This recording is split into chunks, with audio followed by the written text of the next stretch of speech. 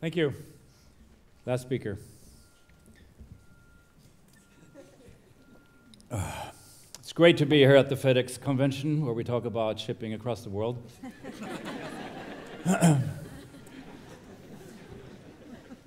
it's a bit of an irony that uh, a, a, conference that's based on the premise of sharing great ideas has asked me to come to talk you, to you about why sharing is going to kill you.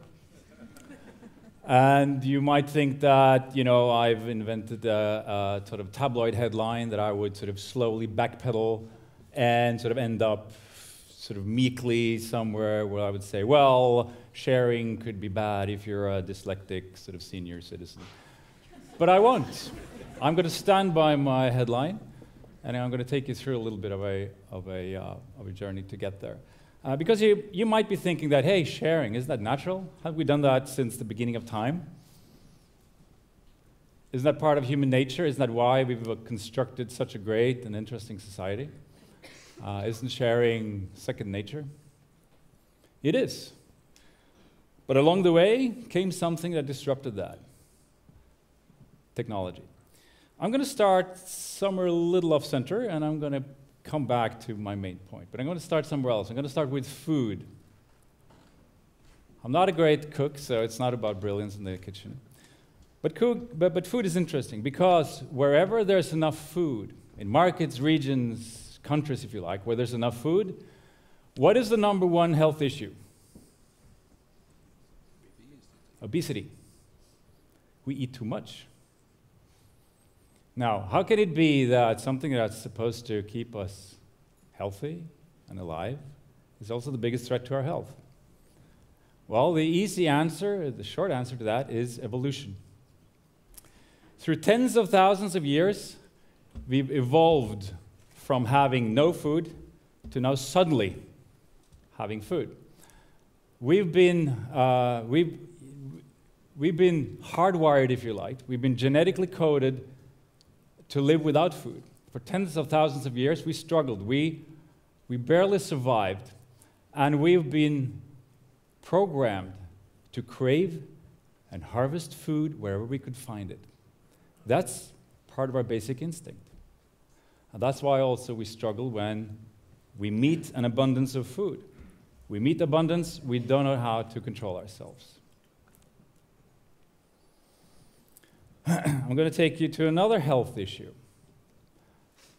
In markets where there's ample health care, what do you think is the biggest drain on those health resources? Or in markets where there's enough health care for the population at large, what is the single biggest threat to that resource? Overdiagnosis. We overdose on health care. Overdiagnosis Overdetection, overtreatment, overmedication is the biggest threat.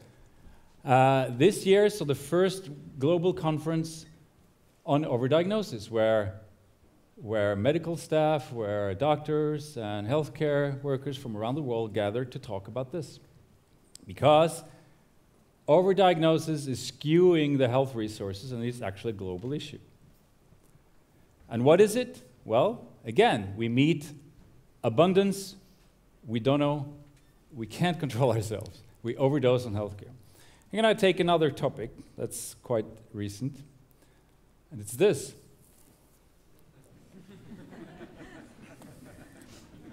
Throughout time, most intelligent people, because they are people, have looked across the world and said, What if we could have access to all the information in the world? Well, suddenly you can. Technology had made it possible to access all the information in the world. Met with abundance, the NSA took the plunge into the pool of plenty. Is it evil or is it human? Well, it's up to you to decide, but my observation is that there is a pattern here. And what is the pattern? Well, constraint used to lie within our surroundings. We were limited by our surroundings, by the environment. But today, technology has enabled us to go beyond that. That means that constraint must come from ourselves. And that is hard, because that is going against your hardwiring. That is going against your programming. your genetical coding, if you like. And that's tough. so, back to sharing. Social sharing is thus nothing new. We've done it since the beginning of time. You're absolutely right. It's what made us who we are a sophisticated civilization uh, that specialized and became the, the master species on Earth because we were very good at cooperating and sharing information. Sharing is many things, but it's, uh, it's passing on information that is vital to your survival. And again, that's how we're coded. That's how we grew up. That's our thousands and thousands of years of programming. We saw information, we saw signals. You know, the front end of information is signals. We, we're always looking for signals and information because we knew it would keep us alive. It would tell us where food was. It would give us shelter. It would give us love. It would give us affinity. All these things. So we know, genetically, we know, instinctively, we know that information is important. We embrace information. As with food, we crave and we harvest information where we can find it. Now, that's fine when constraint lies within the environment, within the surroundings. But when technology changes that, what happens? Well, we overdose on information. And that is an issue. That wasn't me, by the way. So, the first, ah, there was my slide. So, the first threat I see is, is this the massive onslaught of useless information we are creating is a threat to your life, well, at least your mental uh, ability, to your mental powers. Uh, and, uh, and not only is uh, information more accessible today, but, it, but information has become automated. An example is that uh, all your digital connections, uh, what, what Facebook is calling frictionless sharing, and others call it different things. Frictionless means friction is taken away. Friction, that's you. You're taking out of the equation. Uh, the information is just rolling in. Automated updating. That means any digital connection you have, all they're doing online is being fed back to you. So they're reading something, they're uploading something, they're watching something, listening to something, they're participating in something, they're connecting with somebody. Ding, ding, ding, ding, ding, ding, ding. All that is, uh, that, all that is wired to you. All that is, is, is, is updated to you. And that creates a tsunami of garbage in my mind. A tsunami of so much information, it's hard to deal with. Still, we're hardwired to embrace it. Still, we're hardwired to take it on because instinctively we know it's important for our survival. Now, that creates uh, an issue. And there, there, there, there are several aspects of this. I'm not going to go too much into it. But of course, there's a huge commercial pressure for this to happen because media companies, uh, uh, software developers, and advertisers and marketing people are all very, very interest, interested in this because it feeds into what is eventually called big data. and out of big data comes potentially bigger market share and, of course, a pattern. A pattern that tells them what you're interested in, which makes it easier for them or us to sell stuff to you. And that's all fine, it's consumer behavior, but it's up to you whether you want to participate in big data or if you want to retract and be part of, let's say, small data. It's all up to you. When faced with abundance, I plunge in. I love the water here. The second issue with this is that when so much information is out there, and most of it is useless, uh, it drowns the important stuff. It equals what is unimportant with what is important. Thus, it makes it hard to distinguish what's important, what has value, with what hasn't value. And that, I think, is, is, is, is quite and quite an important aspect to keep in mind. The second threat of this is on the behalf of the, the sharer, the, the person, the you that is sharing. Because what is happening when you are so visible? Well, your behavior is changing.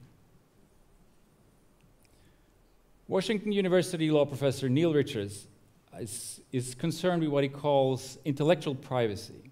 And by that he means that not only what you read, but how you read it is important to how you assess the information and how you judge the information. And I think he's right, because we know from research that you change behavior, you change when you're being watched. Uh, you become more predictable, you become more unspontaneous, you become more prone to follow patterns and reestablished rules, uh, fast food, intellectual thinking. All those things are easier to, to grab onto when, you are, when you're watched. So, to create the space where you can retract from the spotlight and think freely is becoming more and more precious when everything is automated and you are on all the time. Uh, and there's a, uh, there's a further proof to this because some, some of you might know this brainstorming, an idea invented by George Osborne in the 40s, I think. And we've all been victims to this. You know, we could take this room and we could turn it into a round table. I would give you an assignment. I want you to be brilliant and come up with great ideas on the following issue. And chances are you would come up with ideas, some ideas who might even be good, but we know that most of you would underperform in such a setting. Most of you would not perform uh, to your potential in a big room. And why is that? Well, because it's hard. Because being watched, it's difficult to be creative, to come up with, with thoughts that are, to begin with, incoherent, that are fragile, that are based on assumptions and you're not sure what. It's very hard to, uh, to expose yourselves with that kind of thinking when so many people are, are watching. So, yes, brainstorming comes, makes, produces ideas, but very seldom uh, to the best potential of those participating. So, as a designer, I, I'm not going to I haven't design anything, but um, I want to I want to visualize this, uh, and I visualized a house. And that's how brilliant I am. Um, your mental capacity is a house. Okay, we now know that uh, we now know that instinctively you, you're coded to make that house an open place. I mean, your windows and doors are open all the time. It's nothing we can do very much about because that's who we are. That's we are human beings. Uh, we, we grave and we harvest, so it's open. The issue is more like our beautiful friends in the real estate business tells us. Where do you place your house? Location, location, location. If you place your house in a busy intersection, you know you're going to be preoccupied, you're going to be busy receiving, receiving, receiving until you fall asleep, until you die. Whereas if you place your house on a hill where you have the overview, where they have uh, the, uh, you know, you, you're not part of the daily traffic, but you can, you can at least see what's going on. You can keep a distance at the same time keep an overview, and you can probably keep your house a little bit more tidy. You have a little bit more control of your house. Now, this is my metaphor, so bear with me.